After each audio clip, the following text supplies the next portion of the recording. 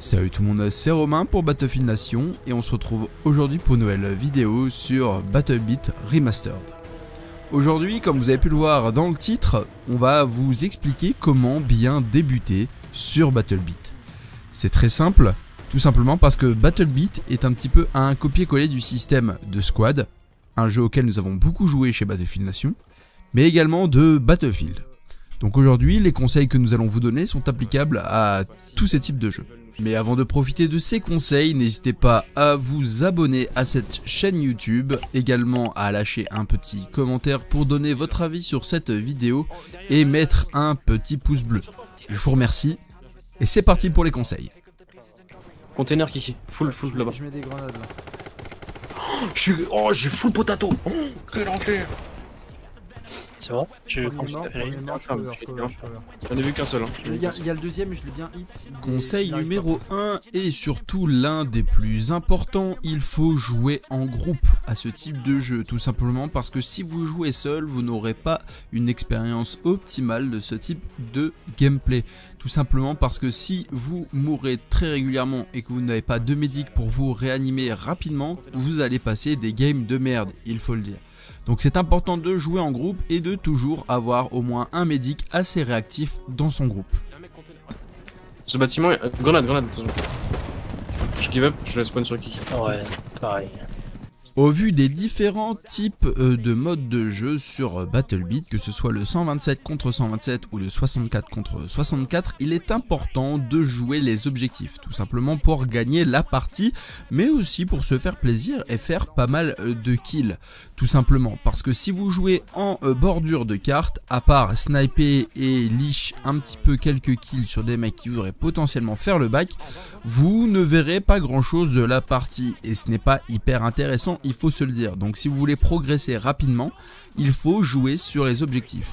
Alors c'est pas toujours évident, vous allez vous faire casser le cul très régulièrement, mais vous allez voir qu'au fur et à mesure des parties, vous allez apprendre à décaler, vous allez apprendre à jouer avec euh, votre équipe comme dans le conseil numéro 1 mais surtout euh, vous allez prendre beaucoup de points et beaucoup d'XP et c'est hyper important surtout si vous voulez débloquer des armes à plus haut level et des choses qui vous intéressent beaucoup plus. Conseil numéro 3, et c'est pour moi le conseil le plus important, tout simplement parce que c'est le rôle que je joue dans 90% de mes parties. C'est avoir un chef de squad très réactif. Tout simplement parce que celui-ci va vous donner la marche à suivre et les objectifs à attaquer pour pouvoir jouer en groupe et appliquer les conseils numéro 1 et numéro 2. Et aussi également parce que le rôle est très important, il peut poser des points de spawn, des rally points. Et ça vous permet d'éviter de courir avec vos petites jambes d'objectif en objectif parce que les cartes sont quand même relativement grandes, aussi grandes que sur Battlefield 2042, mais vous pouvez réduire les distances grâce aux rally points. Et les rally points sont des choses si importantes que si vous en trouvez des ennemis, il faut surtout les détruire tout simplement parce qu'ils permettent aux ennemis tout simplement de spawn dessus et euh, de pouvoir contre-attaquer. Donc un conseil, chassez les rally points autour des objectifs, posez les vôtres et battez-vous juste à côté. tu t'es bandé, tu peux pas. et, euh, Non, mais je sais. Conseil numéro 4, mais là c'est un conseil relativement objectif et ça me concerne surtout moi. Je vous conseille de jouer des armes faciles pour progresser assez vite, surtout si vous avez un shoot assez hasardeux. Si vous découvrez euh, Battlebeat et tout simplement les FPS ou les jeux de ce genre, je vous conseille de jouer avec des armes faciles.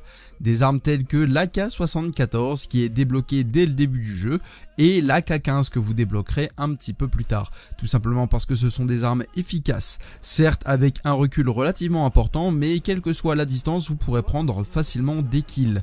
Et donc progresser et avoir plus d'XP. Et dès que vous serez un petit peu plus à l'aise avec ces armes, vous pourrez commencer à prendre des armes un peu moins évidentes à manier.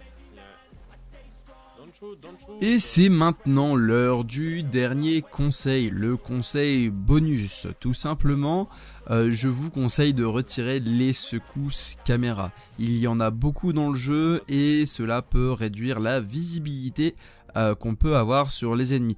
Donc un conseil, retirez-la ou baissez les secousses de la caméra. Voilà, c'était pas vraiment un conseil, c'était un petit tips, mais personnellement, depuis que je l'ai retiré, je joue un petit peu mieux et je vois beaucoup mieux les ennemis, surtout dans les euh, forêts. Si cette euh, vidéo vous a plu, du moins je l'espère, n'hésitez pas à me le signaler en commentaire.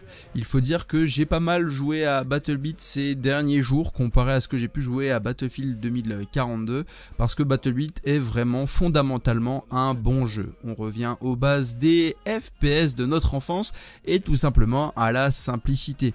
Comme je l'ai dit dans la précédente vidéo sur Battlebeat, l'avantage qu'a Battlebeat c'est que tout le monde peut y jouer. Que vous ayez une grande configuration ou une petite config, c'est quand même très agréable. Et donc ça permet de jouer avec beaucoup plus d'amis et beaucoup plus de monde, même des personnes qui n'ont pas forcément les moyens de mettre 2000 euros dans un PC. Euh, parce qu'il faut le dire, avec Battlefield 2042, je suis désolé de le descendre, mais euh, quand il est sorti, il fallait quand même un très bon PC pour le faire tourner correctement. Battlebeat me plaît énormément et j'espère qu'à vous aussi.